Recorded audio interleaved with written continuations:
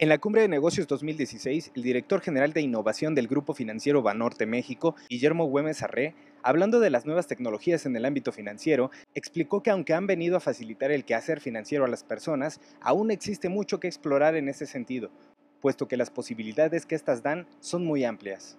Este, en general el banco está tratando de cambiar para podernos adaptar a las fintechs. Yo llevo un proyecto en particular para poder interconectarnos con las fintechs. Como nosotros vislumbramos el tema es muy sencillo. Eh, los bancos no es que no queramos invertir en tecnología, no es que no queramos este, dar nuevos servicios, que no podemos invertir en todas las opciones, no podemos evaluar todas las posibilidades. Es un, mundo inmenso de esto. Somos organizaciones normales, se evalúa una posibilidad, se ve la mejor y se, se invierte en esa. Lo que nos da a nosotros FinTech es un plato de cultivo donde el mercado va a decirnos, oye, ese método de dar crédito, como menciona, oye, ese algoritmo de ahí, sí funciona. Oye, estos señores están dando un servicio nuevo para originar créditos de una forma muy eficiente. Vamos a interconectarnos con ellos.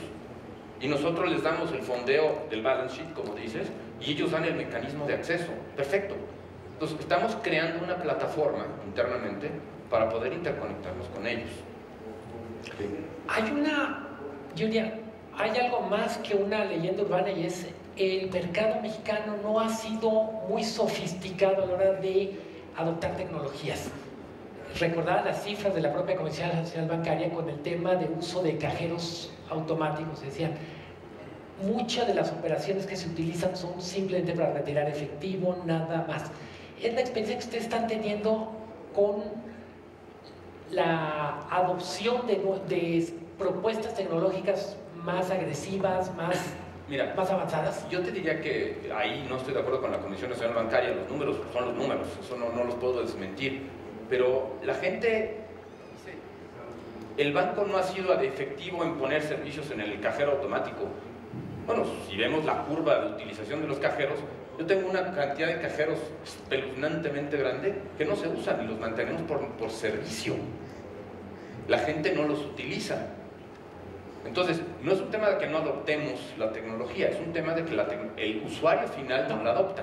Ahora, si estamos cometiendo errores en cómo presentarla para que el usuario la adopte mejor, es donde los señores aquí nos ayudan.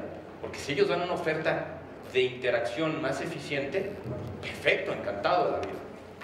Y una versión muy, muy clara de banca que tiene un afán de modernizarse en banca, que tiene un afán de crecer. ¿Qué están esperando en el próximo año, en los próximos años con FinTech? ¿Dónde va? Decías, no podemos apostar por todo. ¿Hacia dónde van a poner sus canicas? No, yo lo que espero es que ellos nos digan hacia dónde. En el, fondo lo que estamos esperando es que la gente como BlackRock, que invierte en FinTechs, nos vaya diciendo quiénes son los que van teniendo éxito. Nos, lo va a decir el mercado. El mercado nos va a decir, prestadero está creciendo, este de acá, no, vamos a ir a hablar con los señores de prestadero, ya, ya no invertí yo en ninguno y ya tengo la solución.